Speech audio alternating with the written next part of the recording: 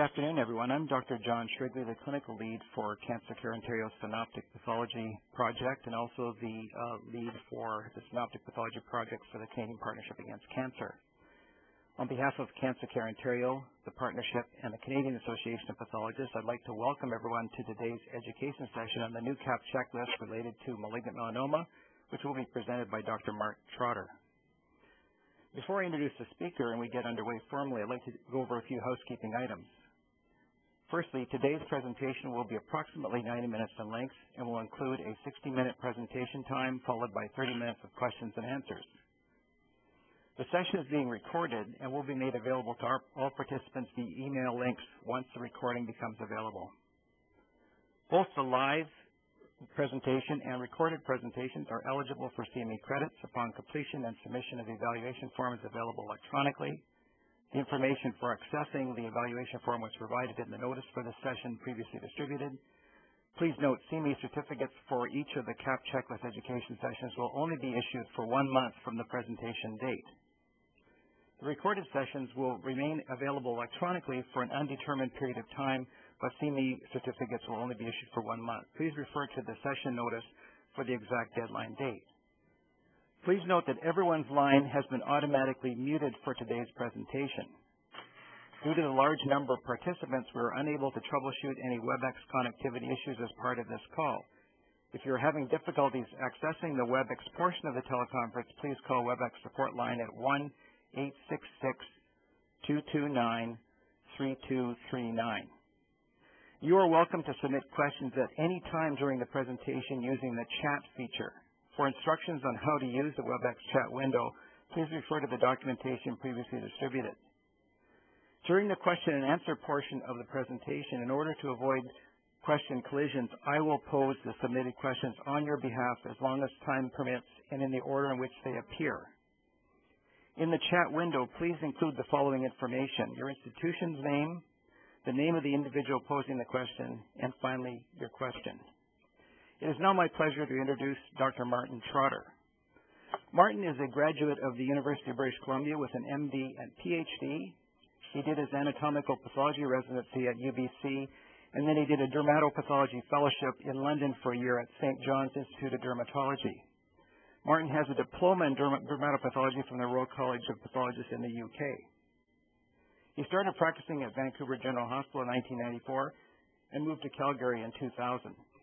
Between 2002 and 2008, he was the division head of anatomical pathology and cytopathology and has been the division head and currently is the division head of immunohistochemistry. Martin is an associate professor in the Department of Pathology and Laboratory Medicine and in the Department of Oncology at the University of Calgary. His research interests are skin cancer, especially melanoma, and also workload and QA issues in the laboratory. It is now my pleasure to uh, introduce uh, Dr. Martin Trotter. Martin? Thanks, John.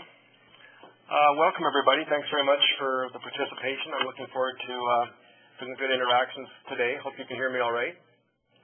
Um, I'm going to talk about the melanoma protocol.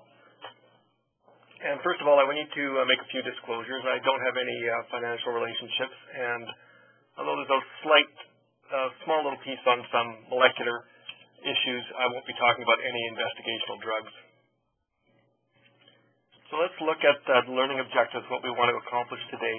Uh, the protocol is fairly detailed, so we need to understand how the components uh, relate to cancer staging and prognosis.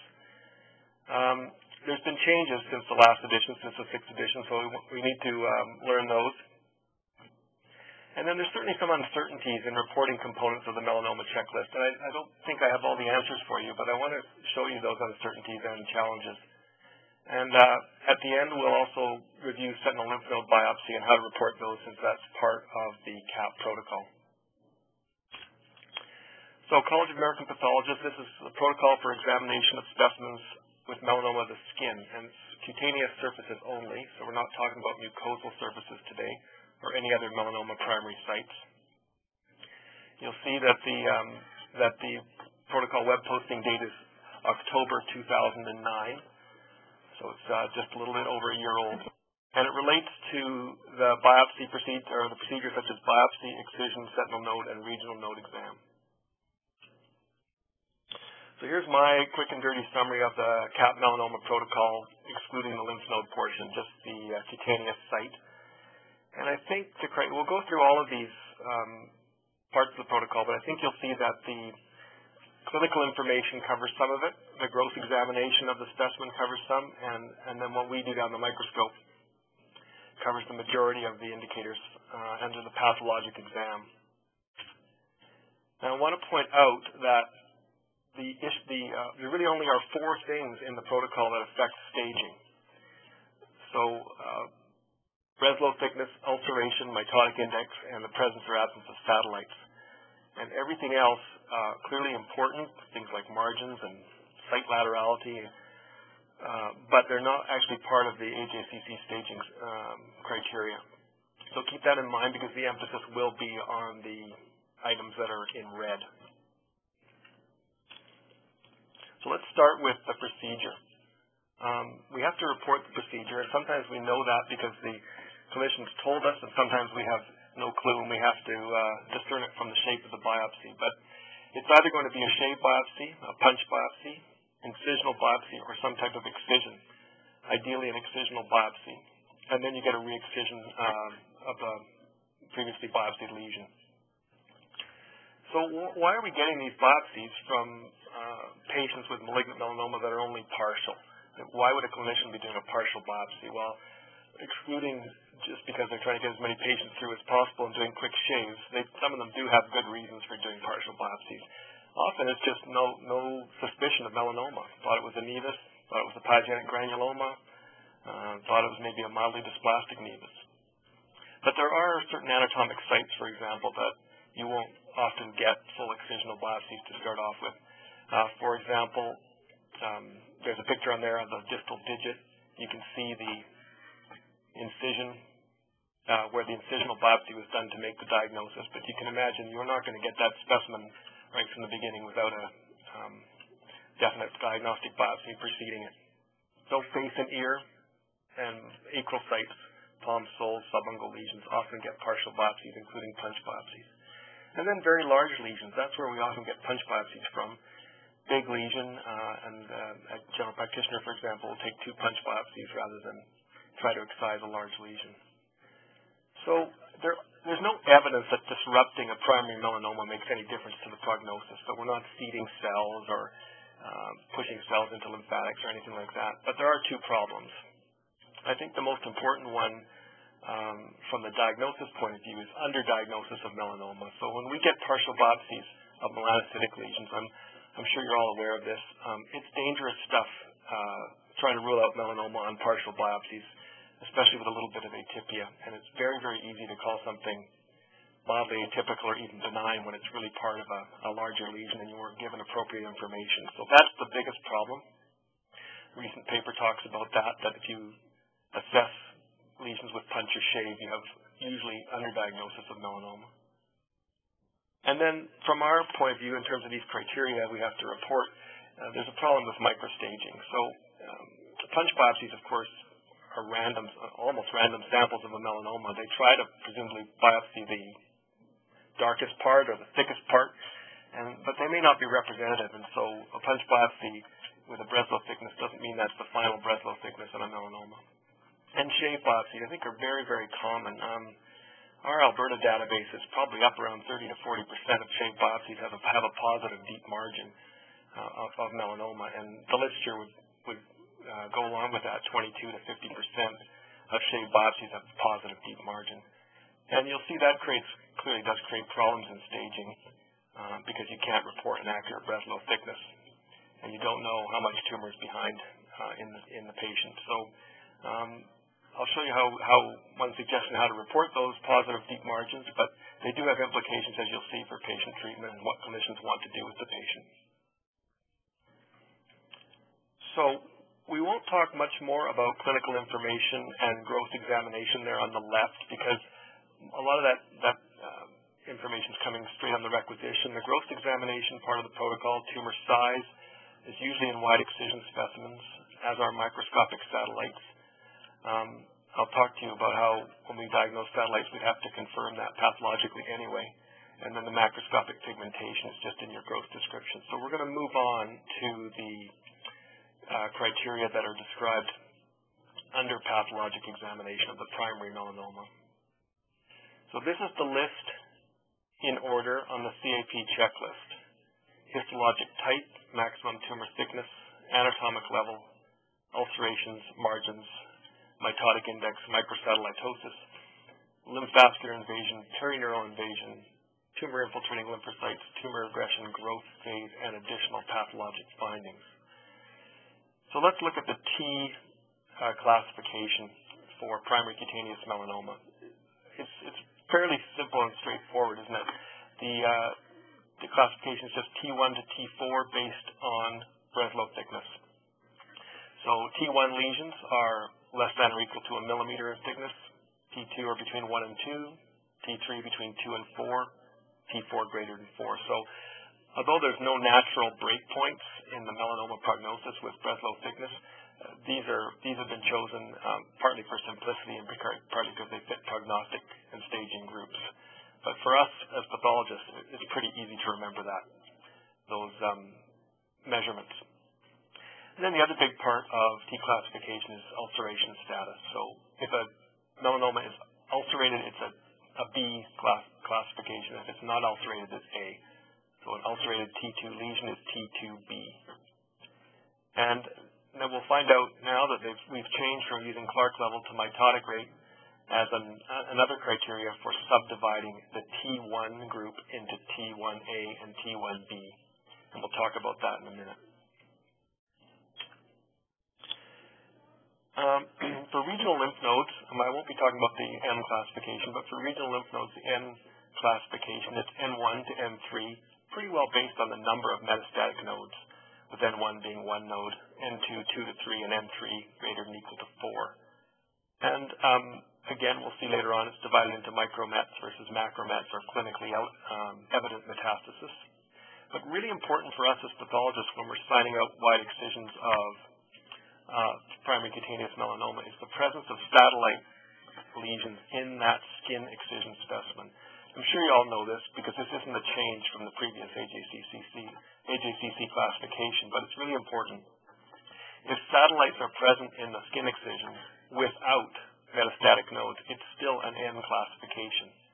So it seems counterintuitive. We don't even have a lymph node yet, and we're calling it N2C. Um, but that's that's why looking for satellites is so important because satellites are in transit mets basically have the same prognostic implication as two to three nodes involved by metastatic melanoma. So this is the list again, and what I've done is highlighted the important, uh, prognostically important components of the CAP checklist. We will talk about all the other ones as well, but we need to deal with the ones that are involved in prognosis. Margins, of course, is not a prognostic, directly a prognostic indicator, but it's intrinsic to doing surgical pathology to report margins, so we will talk about that as well. So let's start with uh, maximum tumor thickness, Breslow thickness. So Breslow thickness uh, is measured in millimeters. Um, you really need to use uh, a calibrated ocular micrometer to do this yeah, we occasionally pick up a big nodular melanoma that's seven millimeters deep or something like that and can use a ruler just on the slide, but you really need to do this down the microscope, so make sure we have calibrated ocular micrometers if we're reporting melanoma. Straightforward, usually measuring from the top of the granular layer to the deepest point of tumor invasion, so in this example, it would be a 2.67 uh, millimeter melanoma. I would recommend, um, I've only seen a few references about it, but I would recommend trying where possible to use two decimal places.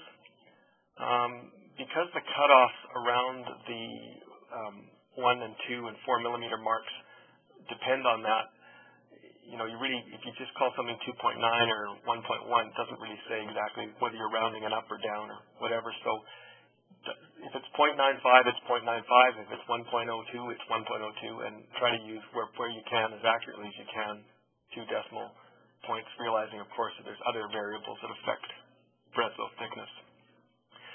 So we all know Breslow thickness uh, is uh, tumor thickness is probably one of the most is the most important prognostic variable in primary melanoma. Here's the um, Kaplan-Meier survival curve with the T1 lesions at the top and the T4 lesions at the bottom, and you can see the dramatic difference in survival based on uh, staging and tumor thickness. Well, there's some problems measuring Breslow thickness. It, most of the time it's straightforward, but often we have to make interpretations and, and do our best with um, with problem situations. Let's just go to the bottom one on this list, which is microsatellites. Um, we can eliminate, that used to be a problem, people trying to decide whether to include microsatellites in the Breslow thickness.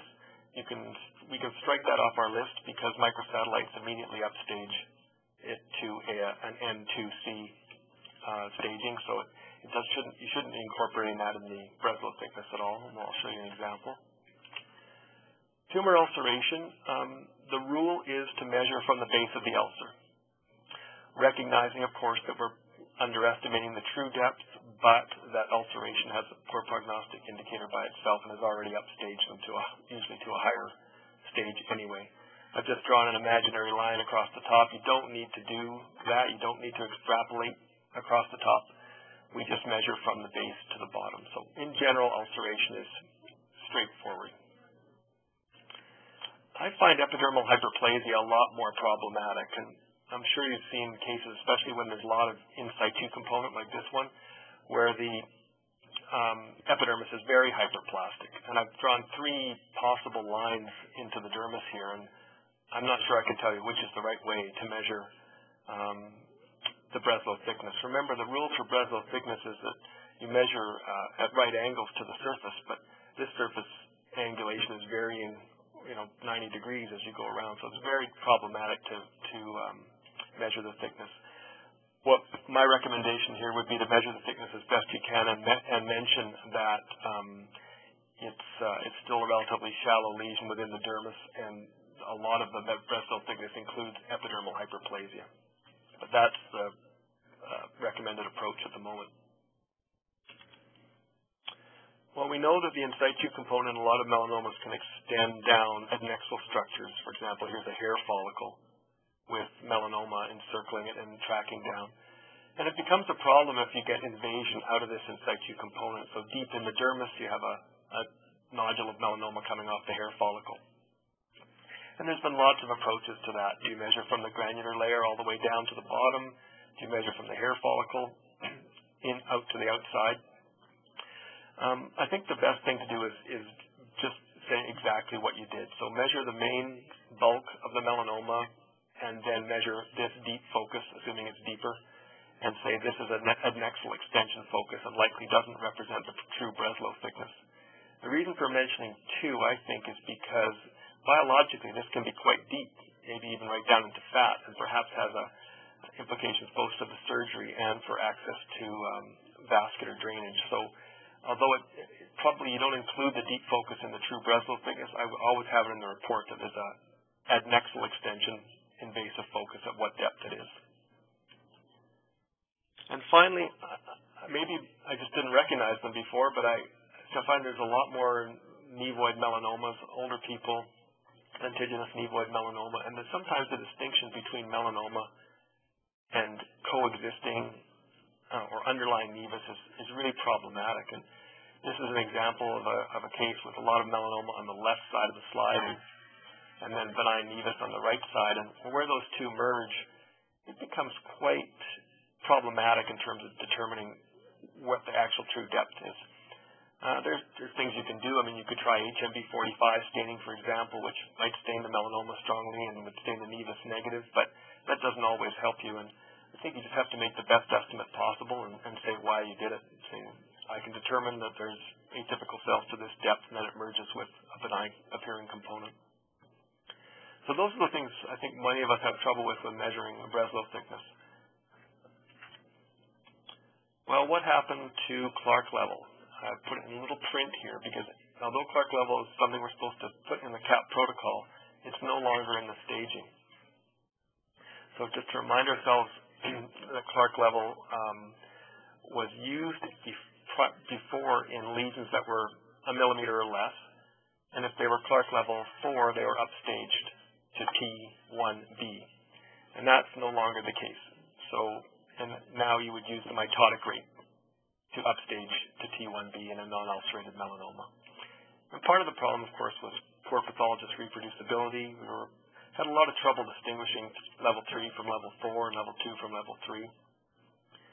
And Clark level had the lowest statistical correlation with survival rate. So here's the multivariate Cox regression analysis, and Clark levels um, a statistically significant variable, but you can see it's uh, much less significant than the other six variables mentioned there. So that's the reason Clark level was dropped. There might be a rare circumstance where Clark level can be used for staging. I'm not really going to talk about it because I can't think of really good examples, but when we talk about mitotic rate, if you can't measure mitotic rate for whatever reason, poorly preserved tissue or something like that, you could use Clark level if it's 4 to upstage, 4 or 5 to upstage it to T1b, but that must be a very rare circumstance. So essentially Clark level is not used in staging anymore. Okay, so we've covered the thickness, uh, including a little bit on Clark level. Let's move on to this ulceration, which uh, hasn't changed from the previous um, staging system other than by definition. So the ulceration status is very important. It changes lesions from A to B and essentially moves them up a staging category in most cases. So a T2B lesion behaves like a T3A lesion in terms of its um, biological behavior. The definition has been more clearly defined based on a few uh, papers. So you need to have a full thickness epidermal defect. In other words, if the stratum corneum is intact over the top, it's not considered ulcer. Uh, and you have to lose the basement membrane. There has to be reactive changes, fibrin and neutrophils, and there should be some change to the adjacent epidermis uh, in the absence of trauma or recent surgical procedures. So we'll talk a little bit about those problems because I think they're still major issues in defining tumor ulceration. So this is an ulcerated melanoma, big nodular mass, fibrin and neutrophils over the top, no epidermis, that's clearly ulceration. Here's another ulcerated melanoma, big melanoma, lots of inflammatory debris on the top. But most of this has actually got intact epidermis. If you follow the epidermis across from both sides, and it's only right in the middle where there's definite ulceration with just crust and fibrin and debris on top. So that would be an ulcerated melanoma, but it's a pretty small focus, isn't it? Here's another, a different case with what I would consider ulceration, although I, I suppose you could argue that there's a little bit of stratum corneum there. That's a that's a microscopic focus. So the the CAP guidelines and the AJCC system don't actually measure the width of the ulceration, although some um, synoptic checklists do include a bracket to put the width in. And any ulceration is considered significant. So here's the problems I have, see if you agree. I personally still think it's very difficult to differentiate between uh, true biological ulceration versus uh, traumatic exogenous ulceration. Can you really tell the difference between a ulcerated melanoma that's sitting on a belt line or a bra strap line that's constantly traumatized versus one that's truly biologically ulcerated? And secondly, again, just as we referred to, how much is enough? There's no guidelines that I can see at the moment that show definite prognostic significance versus from small compared to large areas of ulceration. So at the moment, any ulceration counts. And then on that, those examples I showed we often see examples where the, there's all kinds of material and crap on the surface of the epidermis and it's hyperplastic and it's clearly reacting to something. How many, how many levels do we have to cut through that block in order to find ulceration? There's no good guidelines on that. Um, the times I have cut levels, I still don't seem to find it. Or if the clinician says it's ulcerated clinically and you get intact epidermis microscopically, what do you do? So uh, I'll leave you with those problems. They're not straightforward, and uh, essentially we do our best, but it is a very important uh, prognostic variable. So I think these need to be resolved a little bit better. Okay, this is the big change, isn't it, in the new system, um, the mitotic index. The mitotic index, mitotic rate is a really important prognostic variable, and uh, you can see it's more statistically significant than um, everything except tumor thickness. So this is a this is a big deal. Um, but it's really only used in the staging T classification in T1 lesions. So it's important prognostic variable in terms of database collection and research, but in terms of upstaging or changing the stage of a patient, it's really only important in T1s. So a T1 lesion that's not ulcerated and has mitoses, um, doesn't have any mitoses in the dermis, we'll talk about that in a minute, is a T1A, and if there are mitoses in the dermis, it's a T1B. So it's the second most important indicator, but it only changes the staging for T1. Well, importantly, I think we all know this from other tumor types, we need to report the mitotic rate per millimeter squared. So it's not acceptable for us to use mitotic rate for 10 high power fields or to say very mitotically active or to say we, we need we need to be able to know what our field diameter is and what our field area is. So I'm sure you know all, all know how to care, uh, uh, measure this and to have this done for your scope. But each each microscope you should know your field diameter and just from that field diameter use a graded, graded slide like that, uh, graduated slide. You can work out the area. For my microscope there on a 40 times high power, it's um, just a little bit over four high power fields per millimeter squared. So uh, that's an, that, that has to be done if we're going to count mitotic rate in pretty well every tumor type, certainly melanoma. So how do we do this? Well, these are the instructions, which are actually quite detailed from in the AJCC um, 7th edition manual. It's hotspot counting. So in other words, you go to the area of melanoma where the most mitoses are located. Uh, that's on a lower power scan. And you count, could then go to high power and count that hotspot field. And then we count adjacent fields until, until an area of one millimeter has been assessed. I really need to stress this point because I was very confused about this. How many fields do you have to count? But if you look at the guidelines, they're telling us we only have to count one millimeter around the hotspot. So it's true hotspot counting. It's not an average count over the melanoma starting at a hotspot. It's hotspot counting.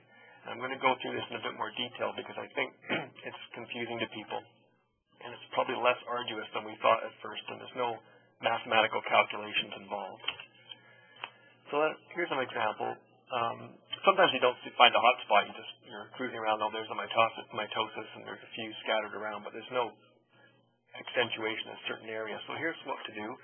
If there's no hot spot found and they're, they're randomly scattered, just find a representative mitosis. I've indicated that by the black star on this slide, and then count uh, the fields adjacent to it and, until you've counted one millimeter. So in this example, let's say this person's microscope has a field diameter of 0.51. You plug that into your formula. You need to count five fields. This is not my scope, for example. Five fields per millimeter squared. And that's the only, you start with that one, and you count the other ones, and that's the only mitosis you find. It's one mitosis per millimeter squared. In other words, we don't carry on and say, see if we can find another mitosis over here or on the right-hand side of the tumor. We only have to find one representative mitosis and count a total of a millimeter squared. That's what the guidelines say. So in this particular example, it's already a T2A lesion. It's 1.6 millimeter lesion. So you're just going to report the mitotic rate, but it doesn't affect the P classification, uh, the uh, T classification, excuse me, at all. What do we do when we can't really accumulate a millimeter of, uh, of melanoma? What's, what's, what's the rules to do? So here's a, a 0.6 millimeter T1 melanoma and we have to try to look for mitotic, mitotic figures. So the rules are to count a total of a millimeter squared of dermal tissue that includes the tumor. So you can see these five fields here, which add up to a millimeter squared. They encompass both tumor and dermis. And really, if there's no mitosis found in, in the tumor that's available, be, it's zero mitosis per millimeter squared. So the recommendation is don't report it as less than one. Report it as zero. You didn't find any and at the very most, in order to accumulate the fields of uh, invasive melanoma, at the very most, you can examine two slides with serial sections on them. Don't examine, the rules say don't examine 10, 10 slides trying to accumulate a millimeter squared of, of melanoma. And if we find one mitosis, just one, then it's, it's at least one because you haven't quite counted a full millimeter squared and you found one, so it's at least one per millimeter squared, and immediately upstages it to T1B. So I was a bit confused before, but actually it's pretty simple. you find a mitosis in the dermis, since you're using hotspot counting, it's going to be at least one. Um, and so any mitosis in the dermis upstages a T1 lesion. And so it becomes pretty simple. T1B lesions have a mitosis, T1A lesions you didn't find any. Okay, um, microsatellites. so remember again that satellites in the primary excision specimen are part of the N classification, so they're important components to report on every melanoma.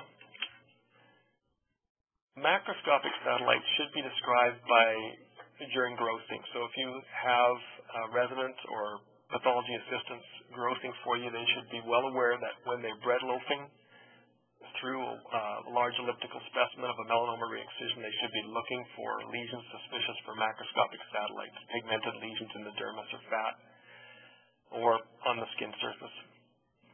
Um, but I, all of those need to be confirmed microscopically. So um, even though they say there's macroscopic satellites, you can't actually confirm that until you look at them down the scope. As you know, many of them will be a, a blood vessel or some hemorrhage, something like that. And I've certainly had a case where the gross photographs look like it's full of microscopic satellites, or at least several are there, and I just can't find them uh, it's full of satellites grossly, but I can't find them down the microscope. So you need to try to confirm them.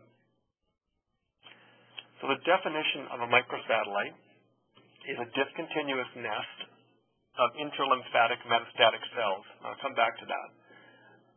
Greater than 0.05 millimeters in diameter, separated by normal dermis from the main invasive component of melanoma by a distance of at least 0.3 millimeters. So satellites are, are close to the primary lesion. They're within two centimeters of the primary lesion, whereas in-transit mets are beyond two centimeters. I'm a little confused by this definition of intralymphatic, because most of the time when we see satellite lesions, they're extralymphatic. And, and I would have thought that um, deposits of melanoma within the confines of lymphatic endothelium is lymphovascular invasion or lymphatic invasion, but not um, growth outside the lymphatic space. I'll show you a, some, a picture in a minute of lymphatic invasion, um, which now in retrospect using this definition may, should, perhaps should have been considered a satellite. So I'll be interested if anyone has any um, better understanding of this.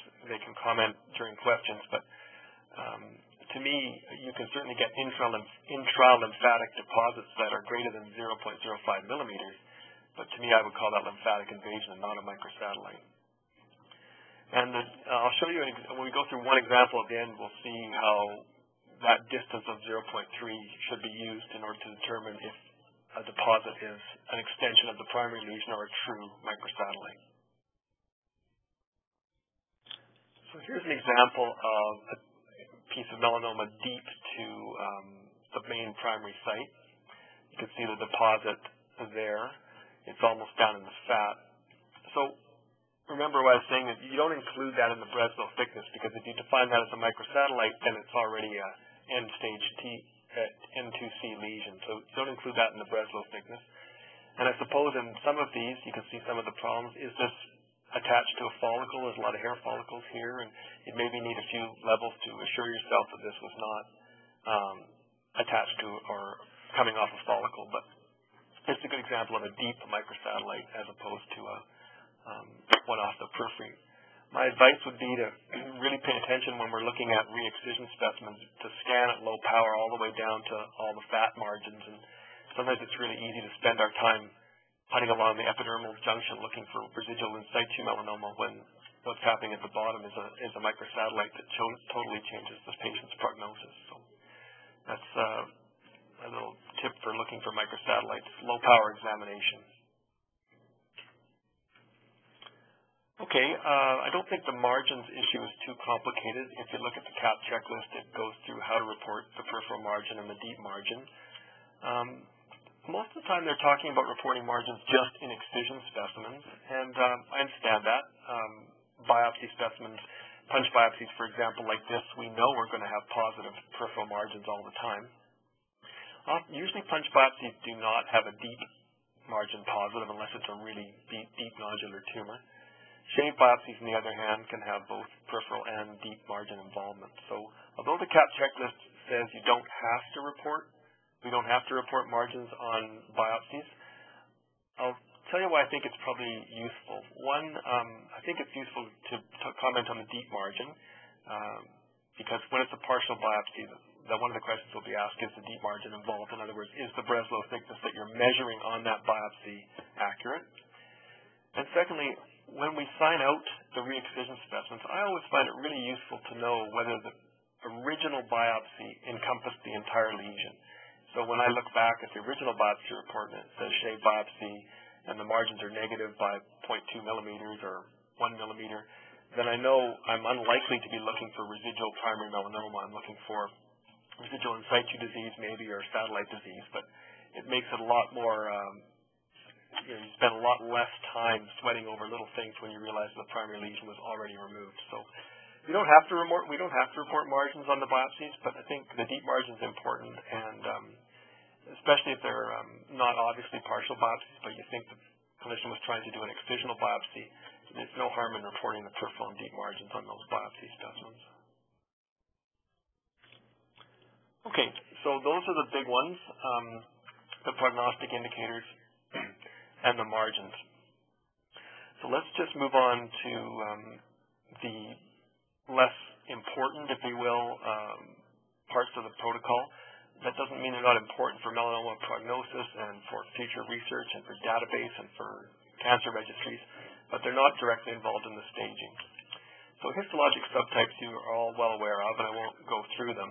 I think this is all going to change for us, isn't it, in the next five years or so, because most of the histologic subtypes are associated with specific uh, genetic abnormalities. So intermittent sun exposure on the trunk, superficial spreading melanoma often have BRAF mutations chronic sun exposure, lentigo maligna melanoma, cell cycle abnormalities, and acromelanoma, some of which have KIT mutations. So, as you know, a lot of these have specific therapies coming online for these mutations, and um, and their um, ill-functioning signaling pathways or cell cycle pathways.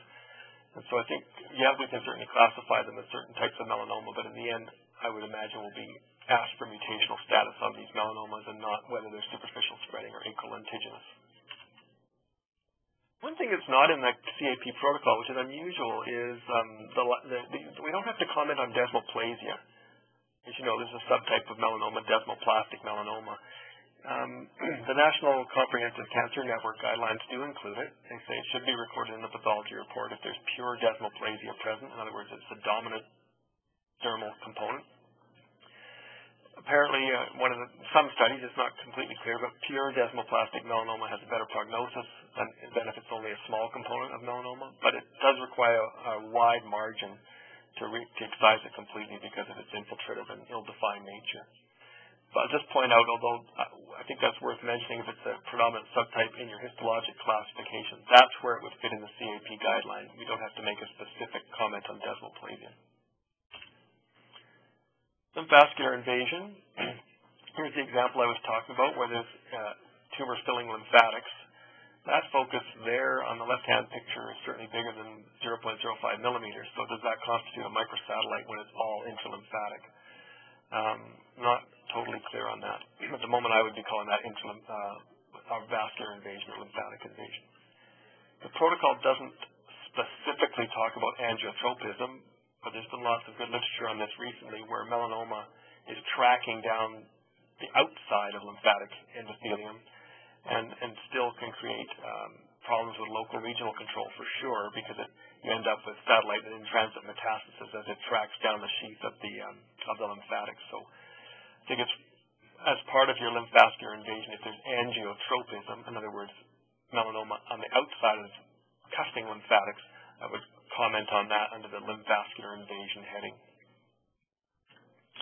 Perineural invasion, not prognostically important, but probably may have a uh, relationship to recurrence rate and problems with clearing the margins. Uh, needs to be reported. Tumor infiltrating lymphocytes, representative of the immune response to a tumor, um, basically classify them as brisk, non-brisk, or absent. Um, and here's the patterns of brisk in order to classify something as brisk, where the lymphocytes surround the entire advancing edge of the melanoma, as in the left-hand panel, or uh, completely infiltrate throughout diffusely throughout the melanoma as in the uh, right-hand panel. Anything else with lymphocytes is non-brisk, and, uh, and um, the, the remainder would be absent. Most of the cases we see are usually non-brisk or absent. So if this, per, this pronounced lymphocytic response is relatively unusual, at least in my experience. Uh, tumor regression is part of the checklist. Uh, remember, regression needs to involve both the epidermal in situ component and the dermal component.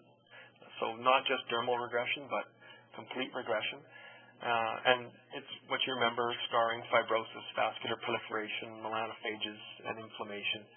Um, the main issue with regression, of course, is in shallow lesions where we might be underestimating the Breslow thickness. And there's some evidence that regression in T1 lesions is a bad prognostic indicator, even though it's not, it's still T1. And we'll see that some uh, centers would go on to additional investigation, including sentinel lymph node biopsy if there was extensive regression in a thin lesion. The growth phase um, certainly was uh, more discussed probably 10 or 15 years ago in the Clark and Elder model and prognostic indicators, but I think you'll see it kind of matches with, in many ways, with the uh, mitotic rate as an indicator of T1B lesions. Um, growth phase refers to uh, a tumorigenic potential in the dermis. So a vertical growth phase melanoma is forming a tumor in the dermis, whereas a radial growth phase melanoma may have a dermal component, but it's it's small and it's it's all superficial and it's spreading radially, quote unquote. Really, there's lots of ways to define these two, but I, here's the simple way I do. You can take it or leave it. But when the dermal nests are larger than the junctional nests, it's vertical growth phase. That means it's growing preferentially in the dermis. And if you find a mitosis in the dermal component, it's um, it's a uh, vertical growth phase. And although we're not using Clark level, as soon as you get a Clark level 3 lesion, that means the dermis is filled uh, with melanoma. Papillodermis is completely expanded and filled. That means it's tumorigenic vertical growth phase. So the only time you're having trouble with growth phase is in a Clark level 2 lesion with some cells in the papillary dermis, trying to decide. And the quickest way is to look at the size of the nest and are there any mitoses. Well, I guess additional pathologic findings is to include anything, uh, coincident lesions would be the most common, I would think, and the most common one of those is is a, is a nevus, um, either an incidental nevus, uh, pretty common in, for example, lentigo maligna melanoma. You often find nevi off in the periphery, or underlying nevi, like in this case, where you've got uh, some early invasive melanoma, underlying looking congenital nevus uh, below it. And that's just a, a comment, really. In, your, in our report, we just say coincident or uh, benign intradermal nevus. And we've talked about how that can present problems with Breslow thickness, etc. Okay, so let's, uh, looking at our time, let's move on to lymph nodes to finish off. Um, if the patient presents with large lymph nodes or, or metastasis on ultrasound, then it's, it's, it's a macrometastasis, but we're often, of course, looking at sentinel lymph node biopsies. So the patient doesn't have uh, clinical metastatic disease, but we look at a sentinel lymph node biopsy to um, determine if there's mets in the node, and those would be called micrometastasis. So that's the role of us, our, our role as uh, pathologists examining sentinel lymph nodes to try to determine if micrometastases are present. Well, why why do clinicians do sentinel lymph node biopsy? Um, as you know, it's a very important prognostic variable because it changes the, um, the staging and allows stratification much, much better for patients into clinical trial groups than we had before. But at the moment, we don't have a lot of good evidence that it's going to affect patient outcome. So if the tumor is uh, T1B tumor or higher, then most many centers would go ahead or talk to the patient about doing sentinel lymph node biopsy.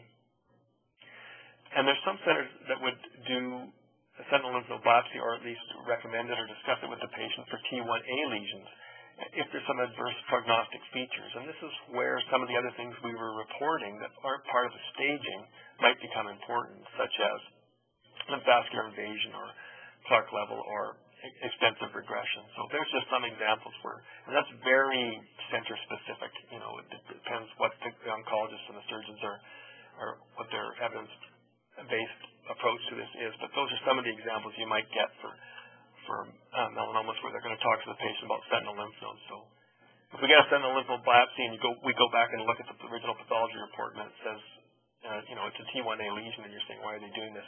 Have a look at maybe one of these higher risk um, things.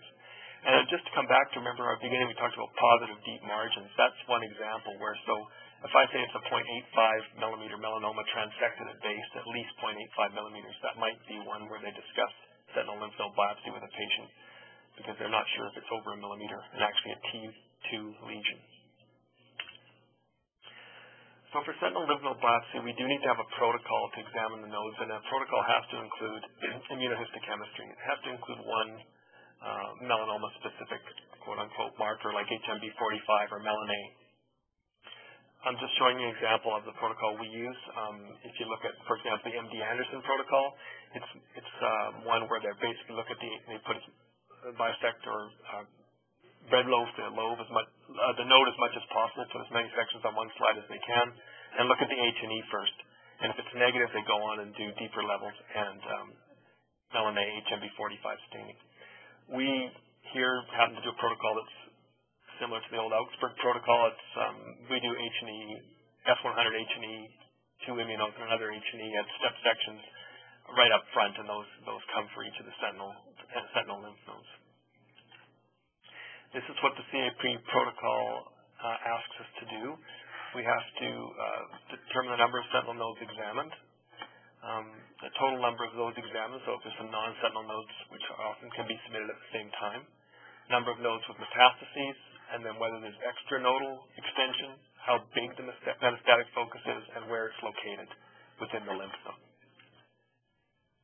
So the location and the size seem to have a relationship to risk of regional node involvement. So I, don't think it's stopping the surgeons from going ahead in trials anyway, from doing completion lymphadenectomies. But if you have one node with a small subcapsular deposit, the risk of having other nodes in the basin involved when you do a completion dissection are low, like 5%. As you can see, as, as you have parenchymal lymph node involvement or extensive lymph node involvement, it goes to as high as 25% of other nodes within the, the basin um, being positive. So this is the reason we're being asked to report the, um, the architectural distribution and size of nodal metastases. So what's the threshold for defining nodal micromets? Well, unlike in breast, there isn't any. Um, so any any any melanoma cell just, uh, in a node is considered to have a worse prognosis. So even isolated melanoma cells constitute a positive node, uh, unlike in breast cancer.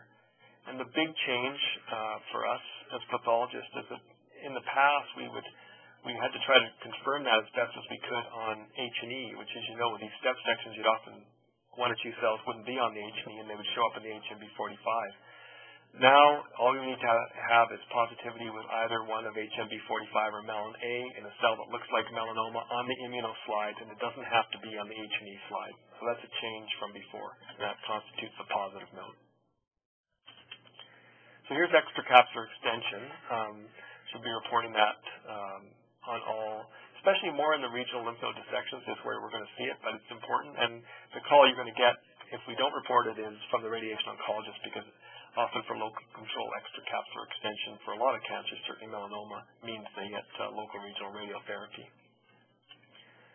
There are some pitfalls, obviously, in sentinel lymph node biopsy interpretation. The two main ones are immunopositive cells that aren't actually melanocytes, or certainly not melanoma, and then also nodal melanocytic nevi. And the presence of nodal nevi is fairly common in melanoma sentinel lymph nodes, and it's probably the main reason why a lot of the molecular techniques for sensitive techniques for detecting metastasis aren't going to work because we'll pick up false positives with these nodal nevi. So S100 immunostaining is not in a lot of protocols, and the reason it's in ours here and that I like it is it's a really nice, quick screen. Of course, you have to realize that there's lots of cells in the node that are positive, like antigen-presenting cells in the follicles, like on the left, or a nerve on the right. But you can, just in a quick screen, you can pick out clusters of cells like this cluster at the bottom that are clearly more epithelioid looking and S100 positive represent metastatic melanoma. So it's a nice quick screen, a faster screen than, than looking through uh, three sections of an eight, of, uh, of a node on one slide on H&E to see whether there's anything obvious, uh, including capsular nevi. In fact, it's probably the fastest way to detect benign nevi. We often find cells in the lymph node that look a little bit like almost like a mast cell or a macrophage that are that stain with melanA or and or HMB45. Sometimes they're obviously macrophages like on the left ingesting pigment. So remember melanA and HMB45 are against antigens in the melanosome and fragments of melanosome probably get transferred and to macrophages and melanophages and go to lymph nodes. So you can get the sort of granular positivity every now and again in macrophages. And other ones almost look more lymphocyte-like, although they have more cytoplasm and stain around them, a bit like a fried egg. And if, if the morphology in the cells that you can tell just on the uh, immunostain is completely benign, uh, you need to discount. We need to discount those as, as non-melanoma cells. Capsular nevi, as I said, are common. Here's an example in the capsule of this lymph node. But you can get nevi extending down into the node along trabecula, which keep in mind that this is actually all nodal nevus here not melanoma. And sometimes even within the parenchyma, so small cells within the parenchyma. And here's the melanA within the parenchyma of the node showing nodal nevus. This is the one time where I think uh, HMB45 is pretty helpful. Almost all nodal nevi are HMB45 negative very rare exceptions. And if you're really stuck, you can try um, a proliferation marker like Ki67, uh, especially if you do it with a double stain, so you can tell that it's in a melanA positive cell, and that should be very low or essentially absent in nevus versus melanoma. And those are the, the two tricks. But most of the time, capsular nevus can be distinguished down the microscope from metastatic melanoma. So we come back to the lymph node reporting. Here's an example. There's two sentinel lymph nodes submitted. Um, uh, total nodes examined two, number with mets one, no no no extranodal extension, largest focus 0.4 in a subcapsular location, and that would be a complete sentinel lymph node report. Okay, so let's just finish off. Um, this is the summary of changes with the AJCC 7th edition, the important ones. The main one is mitotic rate. Um, not only is it an important prognostic factor, um, but it's important for this T1b classification. Um, nodal micromets can be defined either on H&E or just immuno alone, and there's no lower threshold uh, for how big the micromets have to be. And those are the main changes from the, uh, the previous edition of the staging. And uh, here's again back to our primary cutaneous melanoma protocol, and just to remind ourselves that the four um, the four main things we just got to have in those reports are the Breslow thickness, ulceration, mitotic index, and the presence or absence of satellites, and then uh, and then margins um, all have to be in the protocol. And of course, um, I'll show you an example now in a minute, but you also add the pathologic staging component, the, um, the tumor classification and nodal classification if you have it, to your CAP checklist. So I just thought I'd show you a case to finish. Uh, this is yesterday's sign out, so fresh off the press. 75-year-old um, Mayo, left shin. Uh, the clinical history was query melanoma, and a deep shave biopsy was performed. And the clinician, uh, the dermatologist, she told me that she'd only sampled approximately one third of a lesion. So, you know, that's that's useful information. Sometimes you don't get that at all. So she's clearly tried to sample the thickest part of the lesion. It's an unusual case, rather a nevoid melanoma with a, a, a very um, irregular, large, sort of serpiginous nests in the dermis that don't quite fit with benign nevus, and this is all invasive melanoma.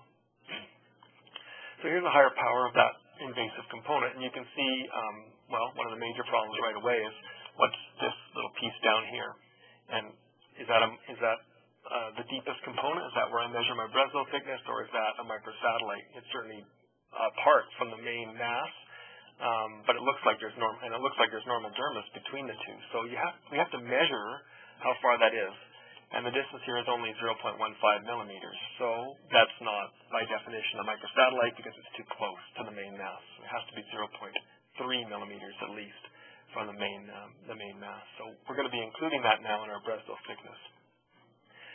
Now, I've, here's the Breslow thickness I measured on this case, 1.03, and you can you can look at this and say, hold on, Trotter. I mean, there's all kinds of ways to measure that. It's how you swing that arrow around, isn't it? And what's perpendicular to the surface? You know, it's a curving surface, and it's it's really complicated. I think this is one where you can see I'm really on the cusp of of a, a T1A lesion versus uh, or T1 lesion versus a T2 lesion, anyway, my decision was it was it was over a millimeter, and therefore it's a T2A lesion. So, you know, in fact, you could stop now. Um, we have the Breslow thickness, and we have um, it's a it's a partial biopsy, so we're gonna we can't tell if there's satellites, and we know there's none none around here. We've looked at them, and um, we we know the depth. We don't, mitotic rate's an important prognostic variable. It doesn't matter in T2A. But let's let's pretend it's a T1A and have a look at what, how we measure mitoses in this lesion. So in this field here, um, I found uh, I found two mitotic figures. I couldn't on low power screening find any anywhere else in the tumor. So that was my hot spot. There's the two mitotic figures in that in that focus. They're just located uh, there and there. So that was two. And now what we what we do is we follow the protocol is we measure that field first. There's the two mitotic figures, and, and my microscope four high power fields equal millimeter squared roughly. So I measured four of those and didn't find any more. So I this is I think where we talk about this mitotic. I don't I don't have to go ahead and measure the whole tumor and divide by the number of high-powered fields to get a millimeter squared. Um, we just have to measure four. And so this is two mitoses per millimeter squared. So here's the sign out of that melanoma, just the, the first part of the important stuff. It's a partial shave biopsy. That's the procedure. It's on the left side. It's on the shin. Um, maximum thickness 1.03, ulceration not identified, margins. Now here's where I talked about margins before. It's a biopsy only because I know it's a partial biopsy, but I did say how far the deep component was from the deep margin. So the invasive component down here at the bottom of this melanoma was 0.15 from the painted margin. Um, mitotic index microsatellites not identified. We need to decide, depending on the size of the biopsy, whether we're going to say cannot assess or not identified. This is a big enough biopsy. There's places far enough from the tumor that I don't see any. Doesn't mean there won't be some in the wide excision, but there's none that I can see here. And the pathologic staging is P2A. So uh, if you don't have uh, a synoptic checklist online in your lab information system, I would certainly recommend either building or making yourself one that you can tick off or downloading one from CAP.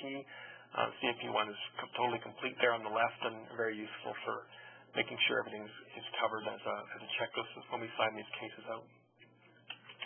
So thanks very much for your attention. I really appreciate it. Um, this is the DermPath group in Calgary. I'd like to thank them for their, their help and support with this talk. And um, that's it. Happy to answer any questions and looking forward to some more discussion on those problematic areas. Thank you. Thank you, Martin, for that uh, that excellent talk. Um, we don't see any questions coming up uh, as of yet. I wonder if you could comment, though, on the issue of the when you have a, a, biopsy specimen and you have a further re-excision, and you find additional information in the re-excision in regards to the sort of final assessment of uh, uh, of stage for TNM.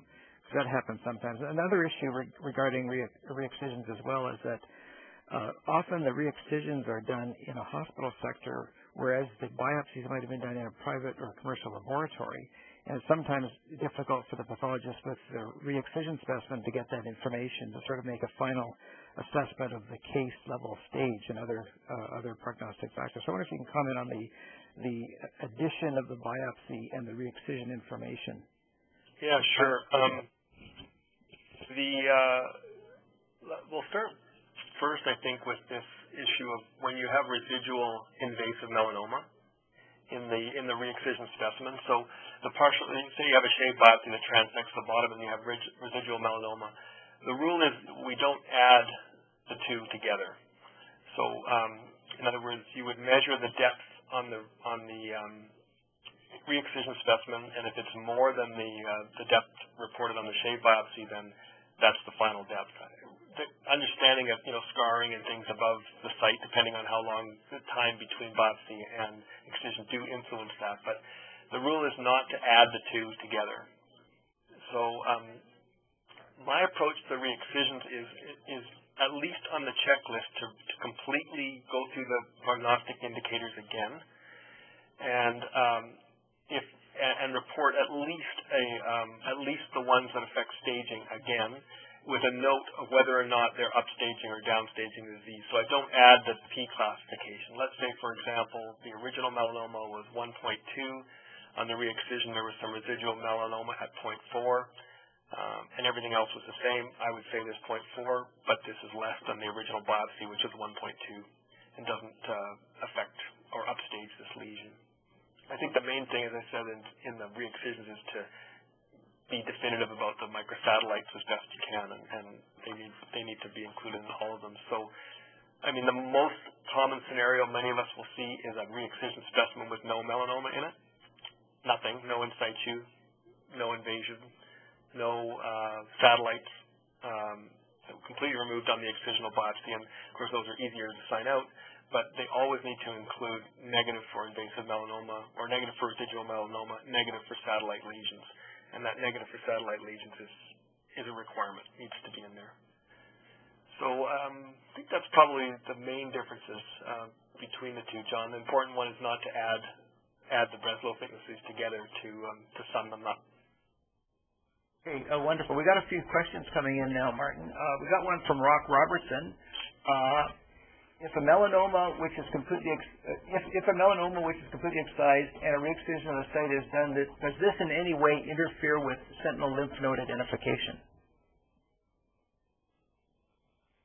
So the wide excision is done um, prior to any um, dye injection or radiotracer injection. Um, not that uncommon problem either. Um, yeah, the, the it, most of the evidence would suggest it does not. In other words, if you're back into that wide excision site relatively early uh, with the dye radiotracer injection, then it will go to the appropriate lymph node. Um, if any plastics is done, like rotation flaps or anything, that screws everything. So that's no good. But um, in many centers, they can go ahead with sentinel lymph node biopsy um, if the wide excision is done say, by a surgeon who doesn't do sentinel lymph node biopsies, but the, onco the oncologist still wants it done. So, yeah, there's there's the potential to interfere, but most evidence suggests you can go ahead with sentinel lymph node biopsy even after the wide excision specimen. Okay, you got a couple of questions from Paul Medline in Toronto. Uh, first question, what is the point of counting more than one mitotic figure if it won't change the stage? Well, uh, yeah, I, I have sympathy with that question. Um, it's it's just because it's part of the database from the prognosis worsens. In other words, the three cutoffs are zero, one to six, and greater than six for progno for mitotic figures, arbitrary cutoffs. The more mitotic figures you have, the worse the prognosis. But at the present time, he's absolutely correct. You don't change the stage. So, um, in other words, what's important is just count the millimeter squared don't we don't have to count more than that. So yeah, if there's one mitosis, uh, find that one and count the three or four fields around it, and just give it, give that total three, one, five, whatever it happens to be. Absolutely correct. One mitosis in the dermis is the only thing that changes the stage for those T1 lesions, and for the T2 and above, it doesn't have any effect on the um, tumor classification. We have another comment from Paul. Uh, he says, I think it is very dangerous to call positive lymph nodes on immunostains alone. You are subjecting a patient to chemotherapy for what could be an intradermal nevus, or sorry, an intranodal nevus. Yeah, um, I understand that concern. Certainly, we we certainly struggle with uh, small groups and single cells. The location is pretty crucial. I mean, the example I showed you of parenchymal nevus, intraparenchymal nevus, is really rare. Um, almost all, well, a large majority of nevi are capsular. They're in the capsule. And um, although there's lymphatics in the capsule that can contain melanoma, melanoma is subcapsular. So the location really does help. Um, and HMB45 positive cells in a subcapsular location, even though there's two or three of them, are not going to be nevus almost for sure because the wrong location and they're expressing HMB45.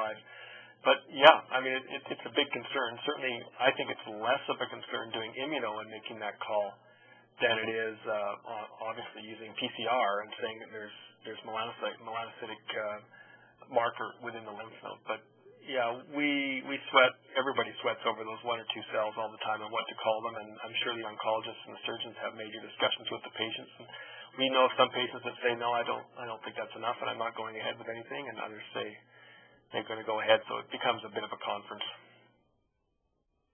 Okay, there's a, a sort of a compound question from Dr. Ghazarian, uh, UHN. Uh, the first part, uh, he said he would like a number of issues addressed. The first one is mito- mitosis, or I guess mitotic counting versus Ki67.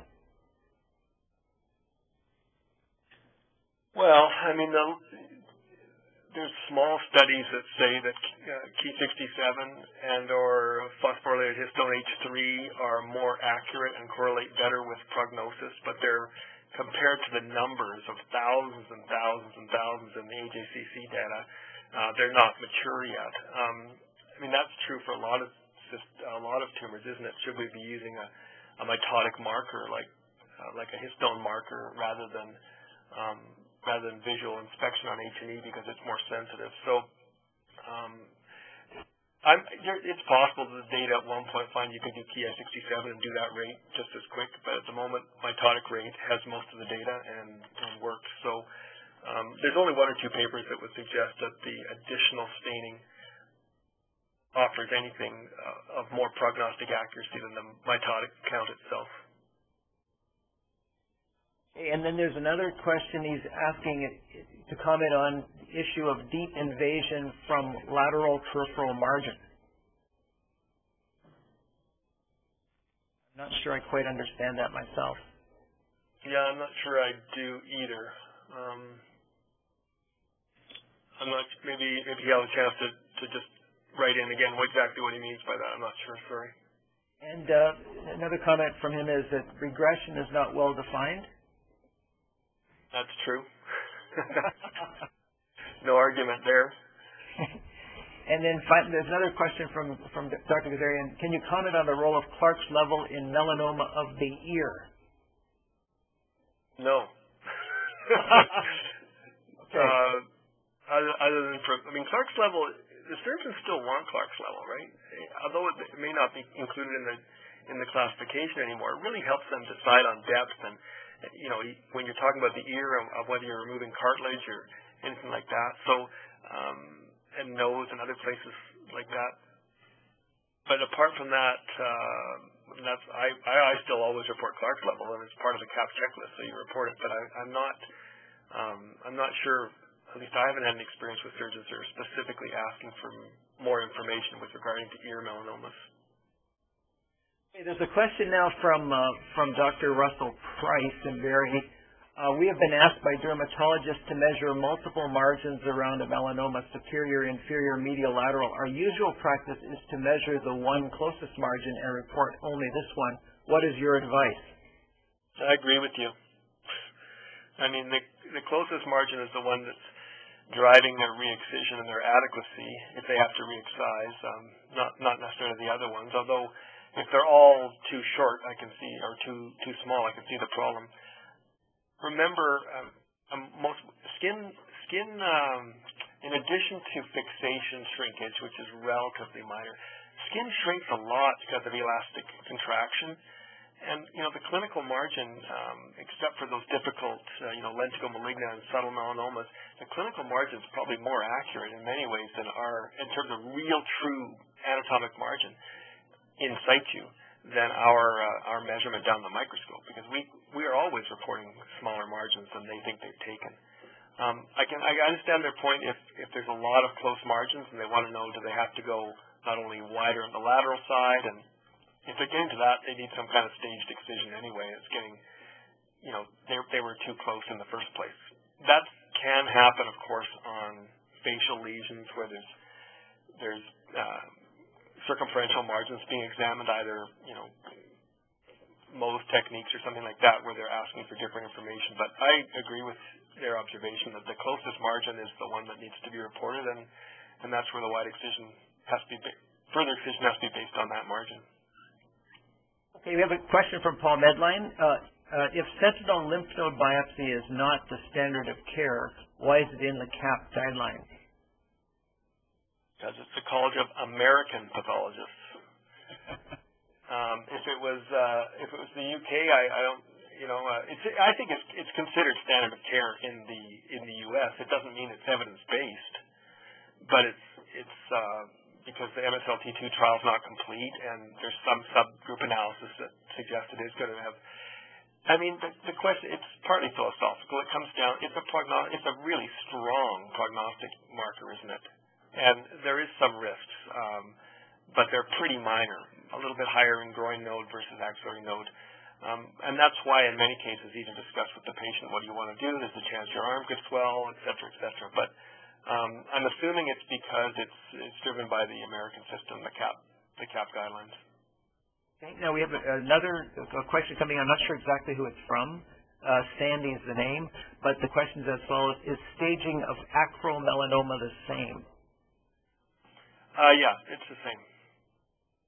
Yeah, there's differences in, in some staging issues with mucosal, like vulvar melanoma, but acromelanoma should be staged the same way as the cutaneous, included in the cutaneous group. You know, we got we got a further clarification of that question from Danny Ghazarian. Yep. Uh, and uh, he's asking, this is in regards to the deep invasion from lateral peripheral margin. Saying deep invasion or any invasion should we measure from the lateral peripheral margin? In terms of the thickness, we'd always measure from the epidermis. So I'm not sure measure, measuring from the where the margin is. I'm not. I don't understand that. I'm still not quite getting it. I mean, if it's, it's to determine how thick it is, it's always going to be from the epidermis and not from a margin. But I must be I must be misinterpreting Danny's question. Sorry. Uh, then there's another comment from uh, uh, from Danny here uh, saying that sentinel lymph node biopsy is the standard of care in Ontario. It's Good. I, I guess it isn't in Alberta or BC. oh no, I think I, I think most patients are they're all seen in southern Alberta in one cancer center, and they're offered, if appropriate, sentinel lymph node biopsy. You know, so it's not like people are being missed. I, I would say if, if that's your definition of standard of care, then it is in Alberta too. Uh, that's all the questions we've had so far. So if there's anybody else that wants to send a question, better do it real quick, because we're going to wrap this up. Uh, I think right about now. Uh, so I just make, make a few closing remarks. Um, on behalf of uh, Cancer Care Ontario, the partnership, and the Canadian Association of Pathologists, I would really like to thank Martin Trotter for a truly comprehensive, informative, and a very clear presentation today. This is our fourth uh, teleconference in the second series of the CAP checklist presentations, and we, we would welcome your comments and suggestions for ways to ensure these sessions are uh, informative relevant to your practice and how we can improve them in the future. Please include your feedback and suggestions as part of the completed online evaluations. Once the WebEx recording of the presentation becomes available, it will be made available for wide distribution via links through Cancer Care Ontario, the partnership, and the Canadian Association of Pathologists. Access to this recording will be available for review at your convenience and is not restricted. As a reminder, both the live and recorded presentations are eligible for continuing education credits in order to receive, receive the CME credits for attending or viewing the educational sessions, you must complete an evaluation form for each session accessed or viewed in entirety. The link to the web-based survey has been included in the session notices distributed prior to each of these sessions. If you are not able to access, access the web-based evaluation, please contact Sarah, Sarah Lankshire at S-A-R-A.L-A-N-K-S-H-E-R-A at cancercare.on.ca to request a copy of the evaluation form to be mailed to you. This information was also included on the notice distributed prior to the session. Please note CME certificates for each of the CAP checklist education sessions will only be issued for one month from the presentation date. The sessions will remain available electronically for an undetermined period of time, but the certificates will only be issued for one month. Please refer to the session notice for the exact deadline date. Also, please note that the information for each education session is distributed 10 days prior to the session date and are distributed via, via CPAC, the Ontario Association of Pathologists, and the Canadian Association of Pathology distribution list and websites. Please check these sources for session information. Uh, our next presentations of the next presentation will actually be on January the 26th at the same time, and this is going to be on urinary bladder. It's going to be given by Dr. Theo van der Kwast. So thank you very much for attendance uh, in this uh, this uh, uh teleconference sponsored by CPAC, Cancer Care Ontario, and the Canadian Association of Pathologists. And that's it for now.